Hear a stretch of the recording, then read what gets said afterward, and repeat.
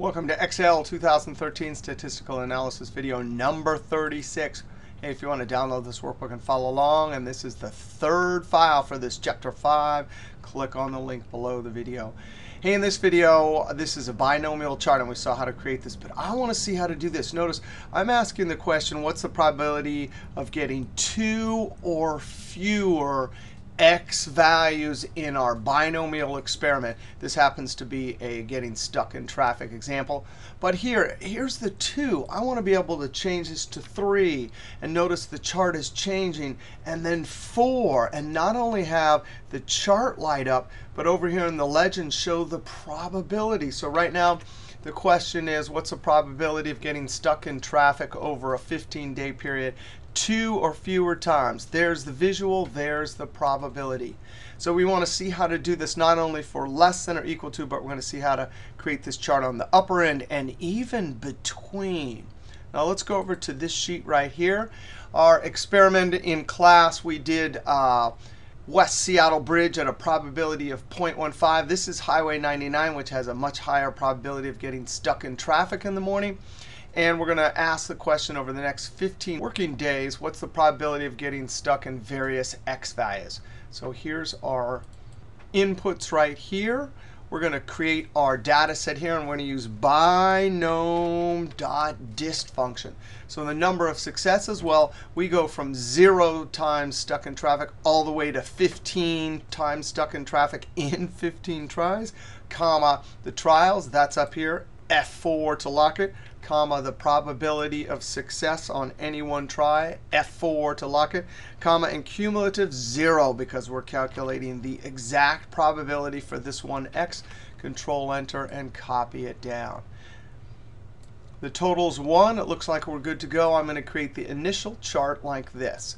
There are our horizontal axis x values. These are the heights of the columns. I go up to Insert, Column, columns. It'll guess wrong. I click on the columns for blue because the chart is totally misinterpreting these. It doesn't know these need to be down here in the horizontal axis. So I highlight them and delete. I immediately right click, select data. This is the most important dialog box in charting. I want to edit the horizontal axis.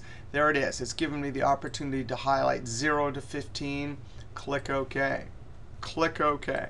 I'm going to click on the chart title, equal sign, and I'm going to scroll up and click in G4. So that equal sign shot me up here. I clicked right there. When I hit Enter, now that chart title is linked to the label. I'm going to leave the legend here. Uh, maybe I'll move it later, but I definitely want to add some axis title. So I'm going to click the plus and then the checkbox. Right here, I'm going to say, instead of equal sign, I'm just going to type P open parentheses X close parentheses. You can see the outline was solid. And when I was typing, it didn't appear here. It appeared up here. But when I hit Enter, boom, it goes right there. The horizontal axis, I'm going to type equal sign and very carefully scroll up and click on a11 and enter. There's our random discrete variable. Let's calculate the probability up here first, and then we'll create the extra data points that we need to color our chart. So if you remember, this is less than or equal to. All the distribution functions go from whatever the smallest up to whatever and we have a 3 x value you put in and cumulatively adds them up if we use a 1 in the final argument. So I'm going to say equals binom dist. The particular successes in this case is 3, comma, trials, comma, probability, and not 0 for individual value. I want cumulative. Remember, if I put a 3, it goes from the bottom all the way to the 3. Close parentheses, and there's the probability. Now, we've done that before in class, but in order to plot this, we actually have to create an extra column here. So I'm going to build this as a dynamic label because I want my legend to reflect the operator and whatever x value I put here. So watch this. Equals, and this is a text formula. So in double quotes, I'm going to put probability, open parentheses, x less than or equal to end double quote. Right now, this is a ridiculous formula. It's just some text, enter, right? F 2. But now I need to join that to this 3. If I enter this right now, it's 1, 2 things being joined. But that's not the end of it. F2, I need to add one more thing. In double quotes, close parentheses, end double quote, and enter. So that will be dynamic. If I change this to 2, my label and the legend will totally update. So I'm going to change this back to 3. Now the trick is, is you need data points for charts. And for this one, I want all of these, less than or equal to 3. Everything else down here needs to be empty. So I'm going to use the if function because for each one of these cells, I need to put one of two things. I either need to put the probability like in all of these cells, or down here I need nothing. One of two things. And when I change this, it needs to totally update. So that's the perfect use for the if function equals if. The reason we use if is there's some logical test that will determine true or false, what to put in the cell if it's true, and what to put in the cell if it's false. So our test is simple. Is the x value relative cell reference? Are you less than or equal to 3? F4. Now notice the logical test comes out what? true here. Is 1 less than or equal to 3? True. True, true. Is 4 less than or equal to 3? False, all the way down. So comma, we're going to get a series of trues and false for that argument. But now the rest of the if is just what do you want me to put in the cell if it comes out true? Boom, I want the probability. Comma, what do you want me to put in the cell if it's false? That means I'm past the 3. We're going to put in a special zero length text string, double quote, double quote. It is actually text, but we're not going to put anything in it. That'll show up as an empty, and that will instruct the chart to show nothing. Close parentheses. Control Enter. And I'm going to copy it down. This is amazing. Watch this. Boom. There it is. The only three values we need. Now if I change this to 2, you've got to be kidding. If I change this to 6, just like that. And this is updating, and this is updating. Now I'm going to include a label up here, equals, and click right there. Enter. Change this back to 3. And now the magic of charting usually comes from right-click, select data. We need to not edit this, but add a new series. Series is the name we give for numbers. And there it is. That's going to show up in the legend. Whenever you put series name, the name goes in the legend. Now this is a tricky thing, and we've actually seen this in earlier in the class. You have to highlight this and delete it. Make sure it's completely gone, and now you simply highlight the numbers. And OK. OK. We need to adjust the overlap. I'm going to click on any one of these and right-click Format Data Series or Control 1. This opens up series overlap. Earlier in the class, we did gap width for histograms. Here I'm going to slide this all the way over to 100% overlap and close it. You got to be kidding me. Is that it? We still have to fix this, but I'm going to put this on the side over here. So I selected it and right-click Format Legend or Control 1. And now I want to say something like, let's try it on the right. Does that look good? No, no, here, let's try it on the top. Yeah, I kind of like that. You can put it where you want. All right, now we have one. Well, let's see if this works. Four. Oh, that is beautiful. Five. If you didn't like the color, let's try this. I'm going to click right there, Control 1, or right-click, Format uh, Series. Let's go to the fill. I'm going to say something like solid and make it really loud, red. Oh, look at that. Let's close this. Maybe that's too bright. I don't know. Three. And just like that, this is starting to look amazing. Now, the next thing we want is we want the, so right there, I want it equals and whatever the number is. So click in the cell F2. Oh, we can just backspace to get rid of that double quotes, space, equal sign, space, end double quote. If I enter, enter this right now, it just shows the equal sign. But F2, and I need to join this to that cell. Shift 7 and click on that cell. Now it's going to be totally crazy, right? Because Excel shows up to 15 significant digits. Maybe you want that. Maybe that's totally beautiful. Maybe you don't. F2, let's round it. R-O-U-N-D. They named this function smartly. And comma, you come to the end. 1 would be to the tens position, 2 to the hundred position, and so on. So I'm going to put a 4, and it will hack these off 1, 2, 3, 4, only to the 2, which will show up as 3 because round does our rounding rule. And just like that, that is amazing. 1. So the probability of getting stuck in traffic one or fewer times is about 8%. And there it is visual. 4 and enter. The probability of getting stuck 4 or fewer times is 68%. Now, if we're going to do it on the upper end, it is not too hard. I actually want to copy this sheet over because we only have to change one or two things. Now, I could right click, move or copy. And if you're going to do that, you got to check this and then pick which sheet and click OK. Sometimes that's easier, but watch this. If you can do this, if you click on a sheet and drag, notice I do not let go. See that little arrow, that black arrow? That means I would move it. But now watch this. I'm going to click and drag and see that black arrow. Now look at the little sheet I'm shaking. I don't see a plus. But if you hold Control, now there's a plus. That means I'm not moving it. I'm copying it. Now, let go of your mouse, but not control, and instantly you've copied it. Now I'm going to double click and call this greater than enter. All right, so we got to do a few things. I got to first come up here, F2. If we're going to do greater than, remember that's on the upper end. So if I'm putting a 4 in, that means I want 5, 6, 7, all the way up. Well, all the area is 1. This is the area 4 and smaller. So if I want greater than 4, I take all the area 1 minus that, and boom. Now that gives me the probability.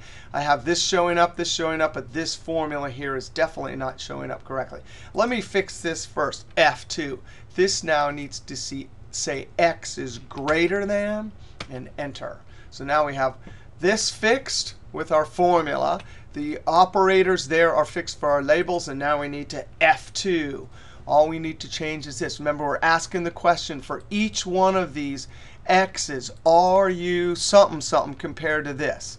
So I'm going to come up here and say, are you something something greater than? Control Enter. And now, of course, it's empty here all the way down. You got to be kidding me. Now they're up on the upper end, and there it is. This is just like magic. 6.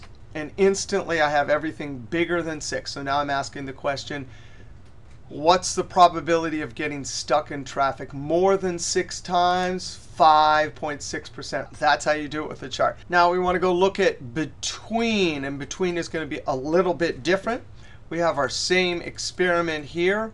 Now, we want to go between 3 and 6 and include the 3 and the 6. The way it works with the functions is since the 1 is cumulative, it goes from the bottom all the way to the particular x. If I want from 6 to 3, I'm going to have to get all of 6 and then subtract not 3, but 2.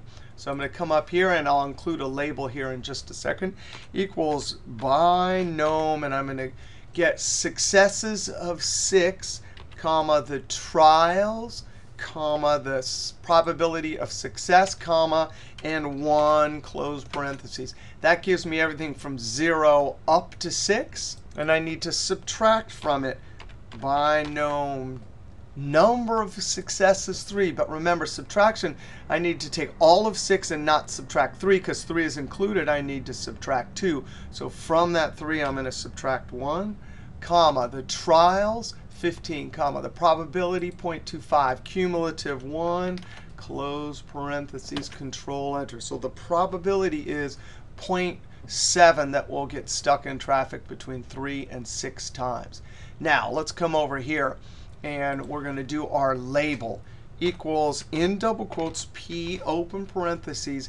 And I'm going to end double quote and join the lower end. Because if there's a lower and an upper, the x needs to be right in between. So I have just the lower, and I'm going to join to it in double quotes. And I have to have the greater than symbol pointing towards the middle, which is the x. So I say x, and then less than or equal to, end double quotes, ampersand, and the 6. If I enter this, you can see the x is definitely in the middle, and it's got to be greater than or equal to 3 and less than or equal to 6.